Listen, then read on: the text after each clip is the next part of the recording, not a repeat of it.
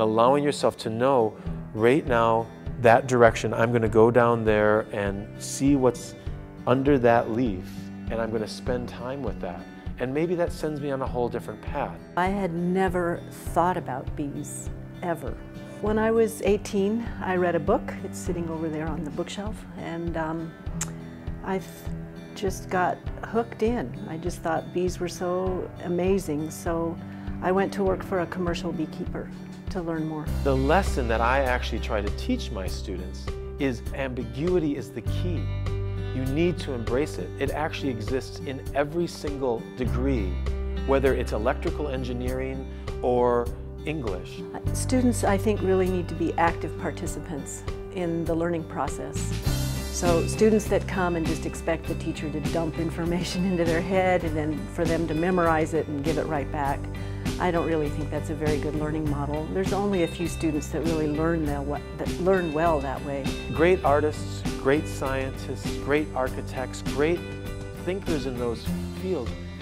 There's a lot of similarity in what they talk about. I'm making dances because I have questions to answer, or emotions that I'm trying to resolve, or personal experiences.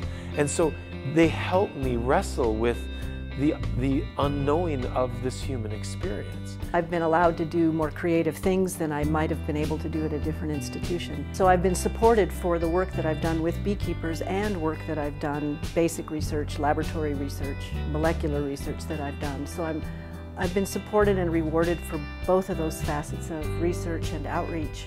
Dance is a way of knowing the world. When I encounter someone in a dance class and I lift them up, I know them in a way that no 10 hour conversation can ever fill in the blanks for. I hold them in my arms and I can feel their weight and I can feel where they're holding themselves. There's an amazing amount of communication in a handshake. And as a dancer, I see that. I see how the text and story of people is written across their body. When you keep bees, uh, you become much more aware of the environment. For example, you become aware of the pesticide application in the environment and how that might affect your bees. And you become much more aware of the flowering plants.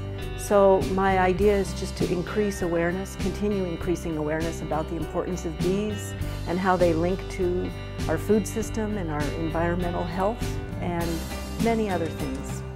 As a dancer, I have become an expert in that idea of knowing the world through the lens of the body.